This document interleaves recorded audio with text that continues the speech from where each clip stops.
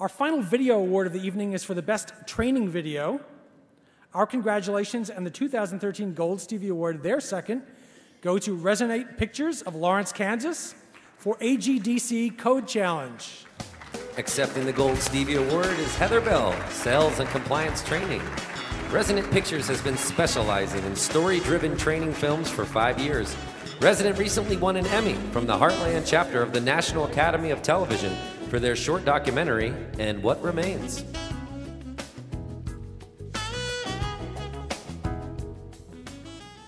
Thank you so much. Such a great honor. This was a really cool film for us to make because it was all about our code of conduct, but we made it fun by making it into a scavenger hunt and a little touch of reality TV. So thank you to Resonate Pictures, and yay, thank you.